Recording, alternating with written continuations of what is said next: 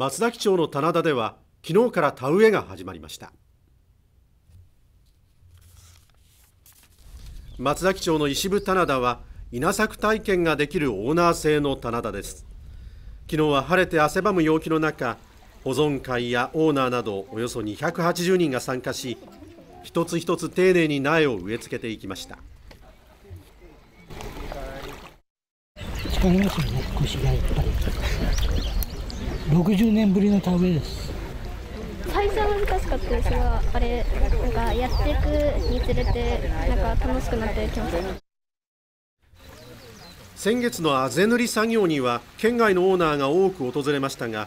今回は緊急事態宣言が出ている地域からの参加は見送られました。田植えは今日も行う予定で町では10月にはオーナーたちを招いて収穫祭を開くとしています